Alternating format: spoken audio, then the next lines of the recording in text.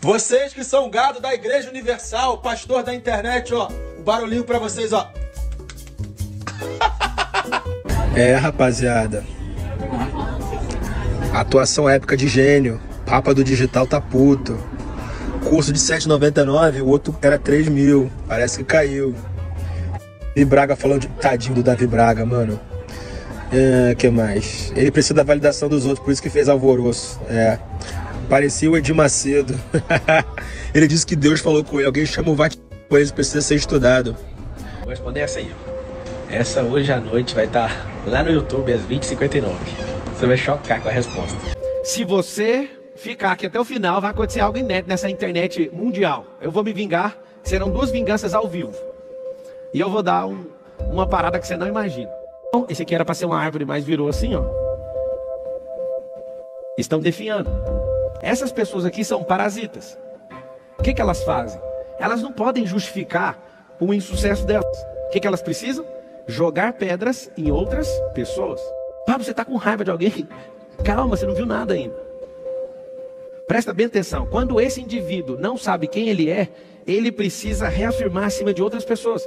Quando as pessoas criticam você, não tem essa de a pessoa fez maldade com você. Você que faz maldade com você, não sendo alguém adulto.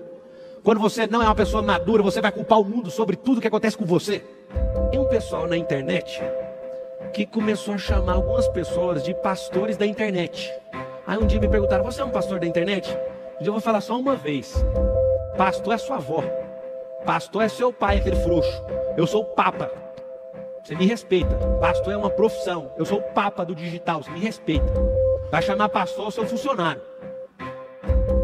Anota assim, ó. A verdade não precisa de defesa. E já dizia o Túlio Maravilha: o perdedor se justifica, o campeão comemora. Se terceiros estão falando que você não é, você acha que passado vai interessar seu futuro? Você acha que passado define quem você é? Estão falando mal de você, diversas coisas. Você já foi preso, que não sei o quê. Cadê? Tem na tela? Põe todas as minhas prisões aqui na tela. Vou mostrar para vocês. Tem aí, ó, o cara do LED. Tem aí, ó. Pode colocar aqui, ó. Vou começar o momento da desgraça. Fica vendo aqui, ó. Tá aí, Lucas. Cadê o Lucas? Ah, levanta a mão. Vai colocar? Tá aqui todas as minhas prisões, eu vou mostrar para vocês todos os meus podres. Nem sei não. Eu não tinha emprego, com 18 anos de idade. Eu consertava computadores, eu me envolvi com um cara da igreja, um líder de jovens. E ele pediu para consertar os computadores dele. Eu realmente fui consertar esses computadores e um dia aconteceu uma coisa. Eu tinha de 17 para 18 anos. Aconteceu algo.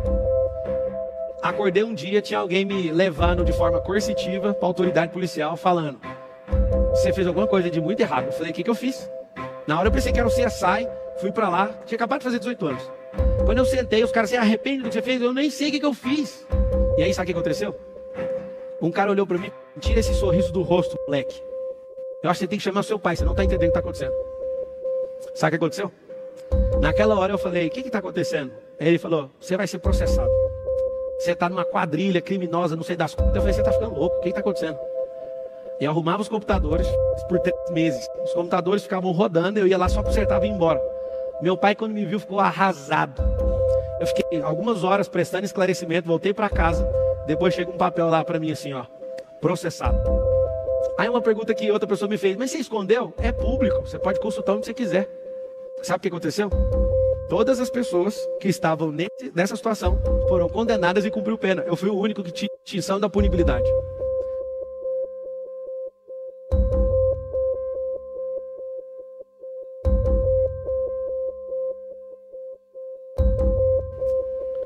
Pablo, se era público esse acontecimento aos seus 18 anos, por que, que só foi aparecer agora? Porque Deus quis assim. Se você fizer uma piada em relação ao meu nome, eu suspendo agora uma coisa que eu sempre fiz. Eu vou caçar você. Eu não sei se você entende de direito, acho que você entende de novela. Mas quando você imputa crime falsamente a uma pessoa, você é o bandido. Você ter sua opinião acerca das pessoas é uma coisa. Se você achar alguma coisa na minha certidão, você pode vir, eu te recebo aqui em Alphaville, São Paulo, onde eu moro, pessoalmente. Não há condenação em absolutamente nada. Cristo levou as coisas e aquilo que era, que você acha, não tem nada para pagar para ninguém. Se você acha que eu te devo alguma coisa, você pode me chamar, eu mesmo vou pagar. Mas agora eu vou te falar, eu vou atormentar você. Todos vocês que acham que a internet é sem lei, você tá falando com o papa do digital. Eu vou te achar. Eu vou te pegar. Pablo, você tá fazendo uma ameaça? Não, você é a ameaça e você vai ser parado. Mas se agora vier algum engraçado cometer algum crime pra cima de mim, nós vamos pro regaço, seja no país que você tiver. É fácil quando você está na Europa, na África, na Ásia, nos Estados Unidos, ou sei lá, na Oceania, aparecer atrás da internet e fazer isso aí. Nós vamos te buscar onde você estiver. Esse é só um recado. Algumas pessoas estão falando o nome de, de bactérias aí. Para de escrever nome de bactérias da internet. A nossa luta não é contra carne ou sangue, é contra principado e potestades e dominadores do mal, não é contra pessoas. Vocês que estão aqui até agora assistindo, vocês poderiam parar de escrever coisas a respeito de outra pessoa?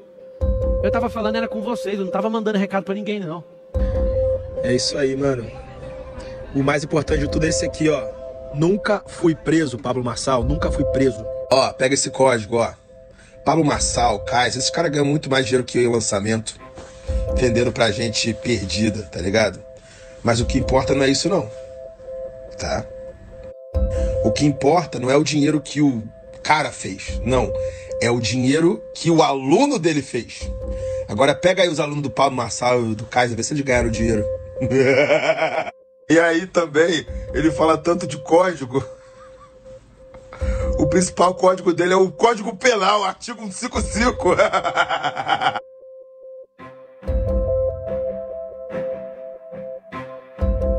Eu tenho um passado de formação de quadrilha, sim.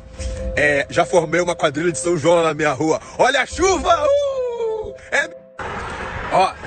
Agora vamos falar de Deus. Quem me conhece pessoalmente sabe que eu sou um cara muito conectado com Deus, né? E assim, com grandes poderes vem grande responsabilidade. A maior força que Deus me deu foi a coragem. Por que, que Ele me deu essa coragem? Cada dia que passa, eu sinto que Ele me colocou na terra, mano, pra exterminar os demônios, tá ligado? Olha o Pablo Marçal na live de ontem, cara. Ele tava com um demônio no corpo, mano. Eu farejo isso, tá ligado? Farejo gente ruim. Eu sei apontar. E 100% dos que apontei eram ruins. Estavam, eram do mal e queriam te manipular. 100%. A coisa que Jesus Cristo mais odiava era a raça de víboras, eram os fariseus. E eu, eu tenho esse dom. Eu cheiro bandidagem. E eu aponto. Eu extermino todo, todo mundo que tá com coisa ruim.